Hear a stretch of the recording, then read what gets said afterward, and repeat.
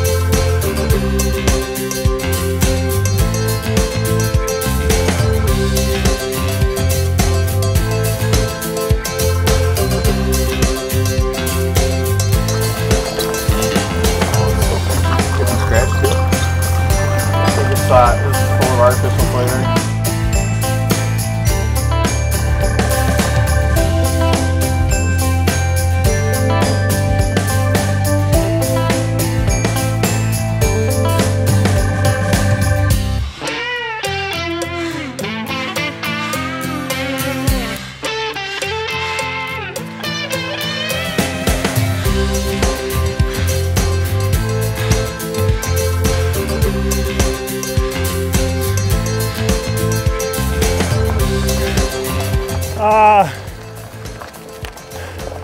2,284 metres. Timmy, he was content on trying to beat a Strava KOM. I was like, dude, anyone come here for a nice ride?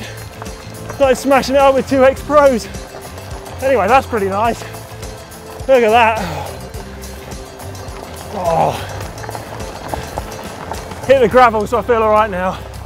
Feel at home again.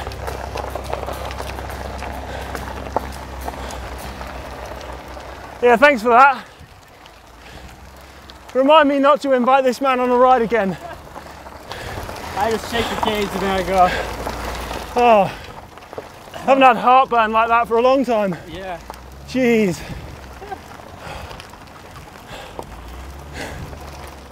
Ah, finally, just about caught my breath.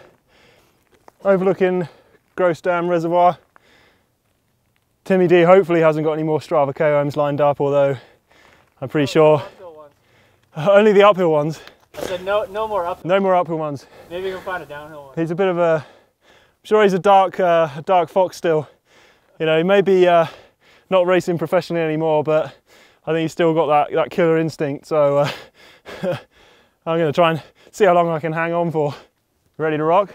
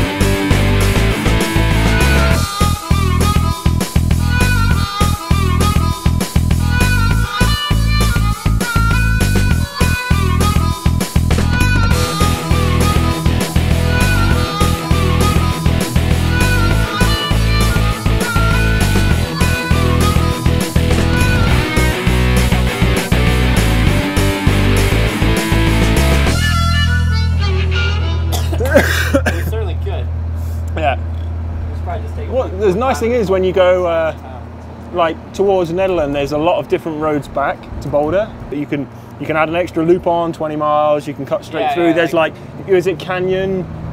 Yeah, peak to peak and 36. Yeah. parallel each other. Yeah, and you like you've got all these different routes which you can go canyons, sunshine, or is it Sugarloaf? Yeah, it was like I was just looking on the map, going, I don't know, what, what do I do? You know? if you come up this way, then you get to peak to peak, and then to loop it back down. Yeah, you have yeah, like yeah. five different options. Yeah, I yeah, mean, you could go all the way to Estes Park and loop it back that way.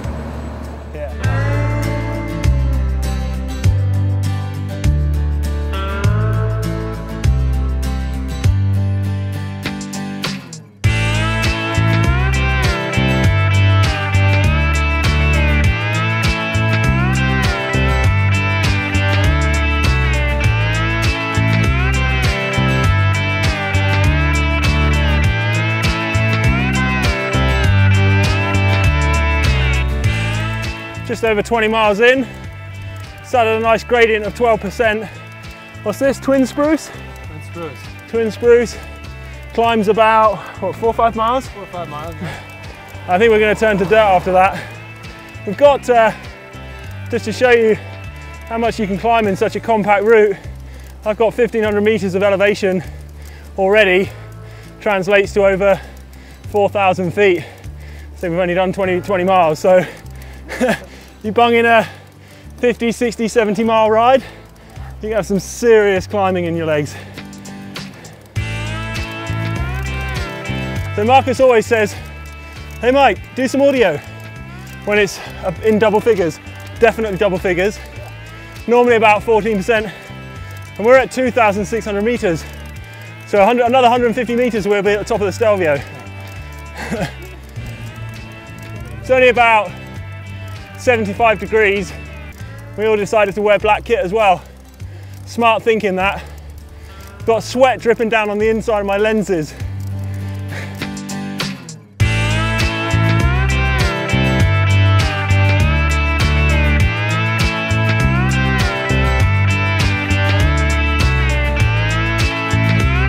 A lot of people, unfortunately, were kind of turned away by the dirt. What people don't realize is you ride the dirt just fine. Just as like when you crash on pavement. Yeah, the dirt requires a little more attention, but you don't have the cars.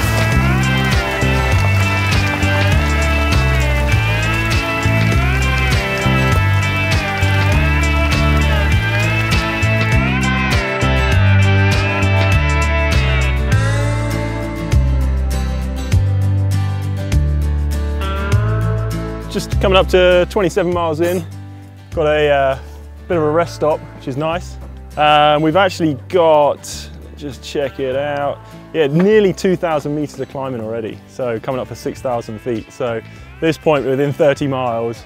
This is uh, top of Gap Road, just uh, done about four or five miles on the gravel and uh, looking out over the Indian Peaks here and uh, gotta say, pretty special.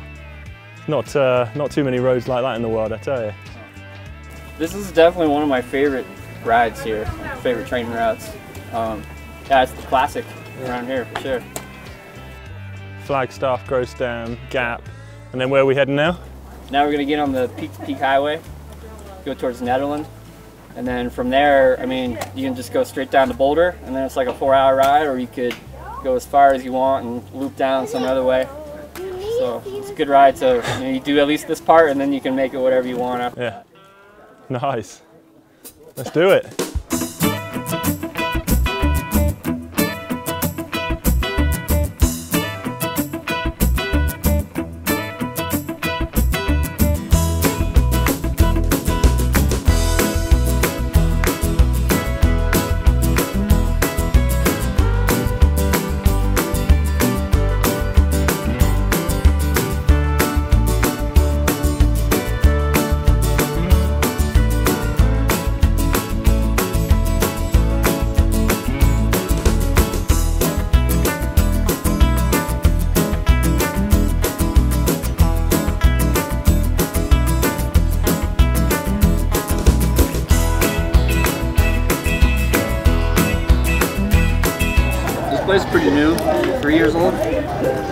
Become like a community hub of Nederland in a lot of ways. like Tuesday nights in summer they have Taco Tuesday. So they're like slinging tacos and like the whole town comes out. There's live music, kids and dogs run around everywhere. Like, these potatoes like so good. Good ride.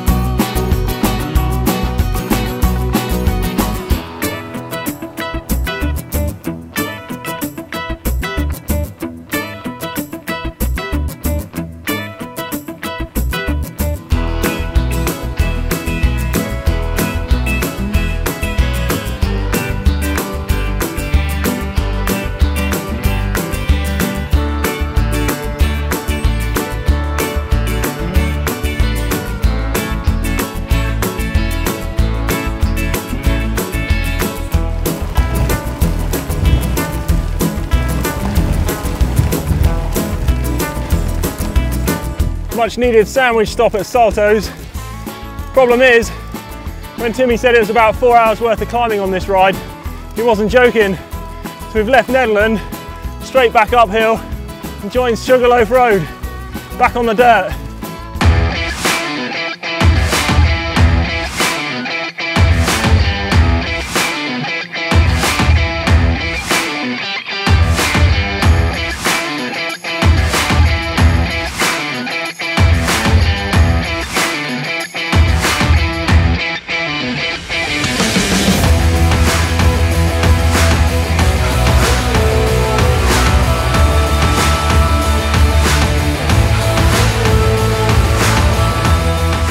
Last stop of the day, top of Logan Mill. Look at the view. Rolling canyons, dirt, pavement, and uh, this is a Timmy treat apparently. We could have just gone straight down, is it Sugarloaf? Yeah. Straight down back to Boulder. No, no, no, no, no. We have to take a sharp left. We have to do a few more rollers and then we have to hit this driveway descent, like 25% on dirt, of course. Apparently it's pretty narrow, pretty, is it twisty turny? Very turny, yeah. twisty and turny, narrow, and it's like riding on marbles, so uh, just what the doctor ordered.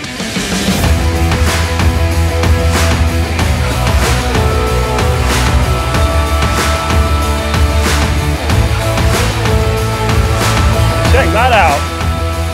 Yeah. Better than taking the main road for sure.